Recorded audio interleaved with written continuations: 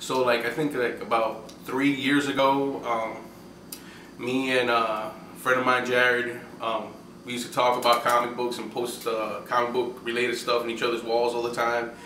And um, it was right around when Facebook came up with the option about making groups, and I was like, you know, I'm tired of like posting like comic book related stuff on his wall and stuff, and having people that don't know what the hell we're talking about like comment and talk about stuff. So we were like, I made a group, invited him, we invited some other friends, and they invited some other friends, and it just blew up. Are you filming me this whole time? I hope this is all gonna be on there. this whole reaction.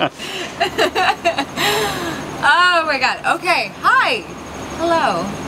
Um, the show that we're going to be doing is showing comics as an art form, basically demonstrating the beauty in comic art. I mean, a lot of people look at comic art and they kind of, well, comic books in general, and they kind of dismiss it as something that's very childish and really, you know, no place or whatever in like, you know, friggin' anything there. I'm sorry, I shouldn't have said friggin', but this is the way this video is. Anyway, um, so yeah.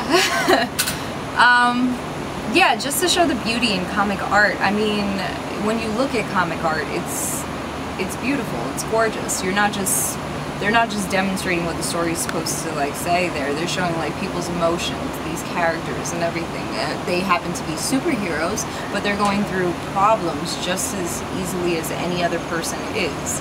And it's shown in a way that it grabs you almost. I mean, look at the artwork of so many different artists that are around, like Jim Lee, uh, friggin' um, Alex Ross and everything.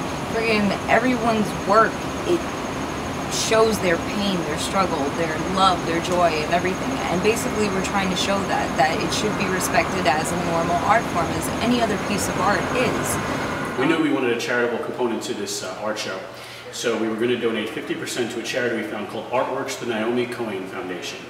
That foundation brings art to ill, chronically, and terminally ill children. Brings art to them. It brings creative arts. It brings performing arts to them.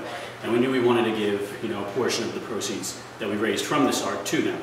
So we were going to give 50% to them and 50% to CBFU, our expansion project, which was to make a website to further our brand name.